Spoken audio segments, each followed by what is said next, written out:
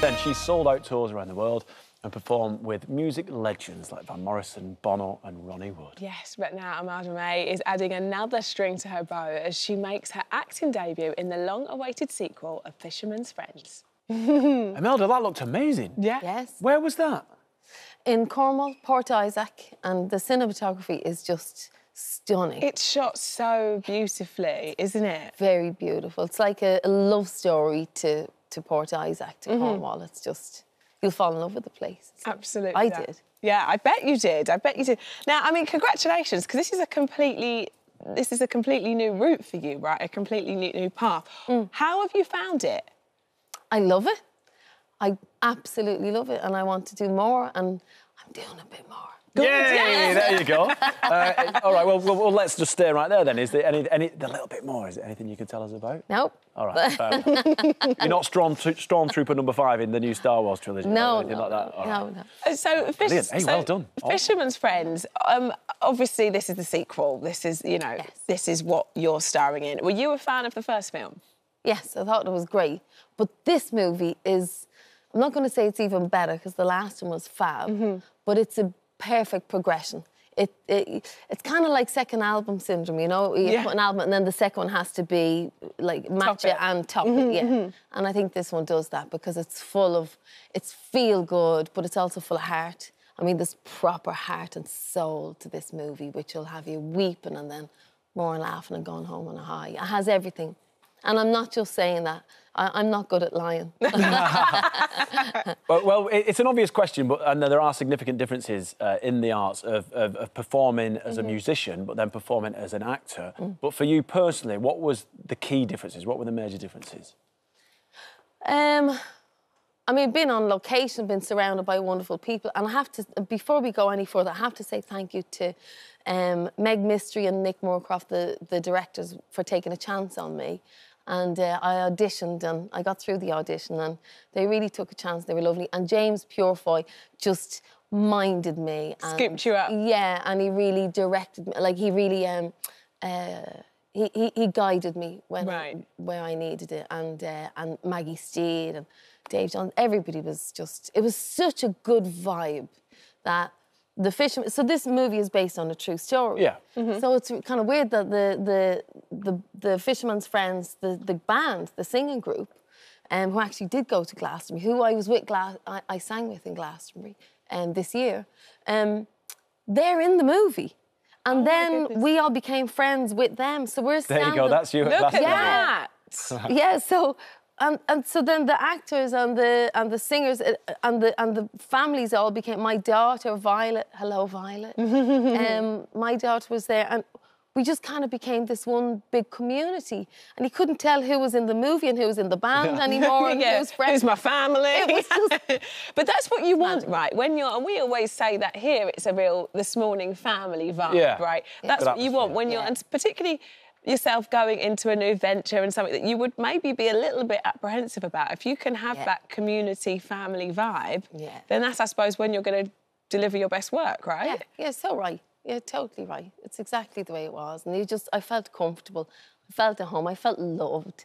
And I loved them. And it was just, I think that all comes through within the movie. Such a supportive um, bunch of people. And we were singing songs looking over, you know, this huge bay. And because of lockdown, it meant we had to go outside. And I think that gave so much more to the movie. So we're we're sitting looking over these beautiful bays and managed to get the best weather we could have hoped for.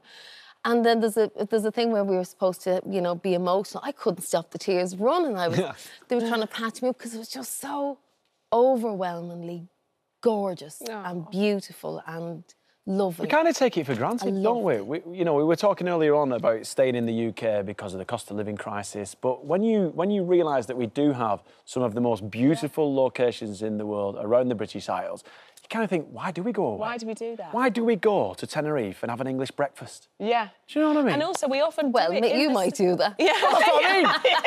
well, I- you do is know, your business. I want to taste the local food. That's what I mean. Yeah. But, you know, it, we- it, it's that's, And that's Ireland, one we, of the we- things we that we do. to isn't get on it? a plane. Find an Irish pub when in, the UK in is at its like, best, what? don't we? We all hop over on our summer holidays when the weather's the best here that it's ever going to be. We all go on Gorgeous. a plane somewhere else. Well, in Ireland. I'm obviously I'm Irish. so I'd be all around Ireland, and when you're talking about the best weather, I mean, if it's 25 degrees, everybody's stripping off, and it's still lashing rain.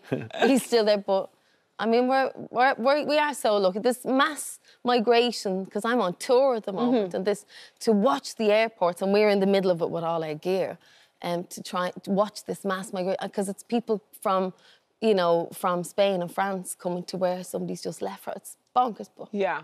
I don't know. Do you love touring? I love touring. Well, yeah. you paused then. I love. Well, I paused because we're having to do this stupid half six in the morning flights just in case they cancel. So at the moment, Oh, there's a little- right. At the minute, yeah. yeah. Logistically, it's a bit of a Yeah. nightmare, but actual being on stage and Yeah, I lo- performing, I that's, love that's it. in your bones, right? I love. It's in my bones. Yeah. I can't help but do that, and I, I just love love uh, the camaraderie of everyone being together. And so, connection. so obviously you're on tour now, and that's obviously originally what we know you for. Acting is, Mm. is a new venture which you've obviously taken to like a duck to water. You're already on to the next thing that you can't tell us too much about at the minute. But writing poetry, I know, is also something that you're that you're Mm. Yeah. into.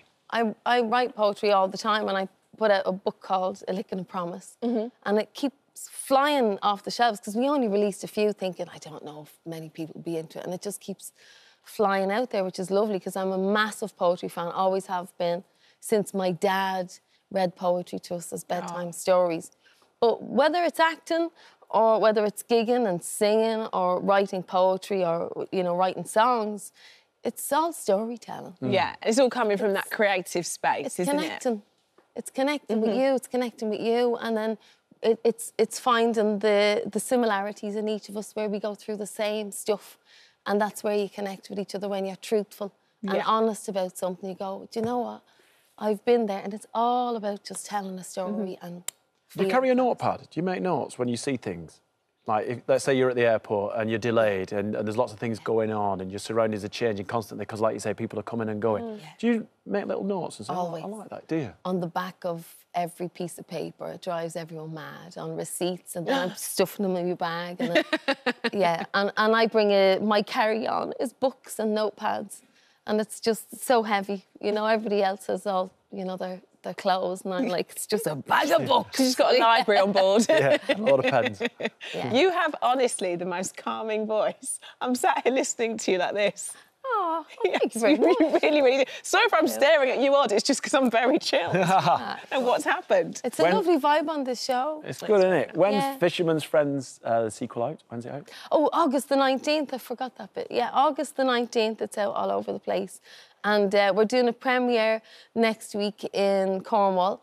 And um, my dad can't go to it. So I'm going to have a premiere myself in Ireland on August the 19th in Dublin. And uh, I think we're just going to go to the local cinema in full ball gowns and tuxes. Oh, Yeah. perfect. There you go. Love You'll that. have, you'll have such a good night. You will, you will.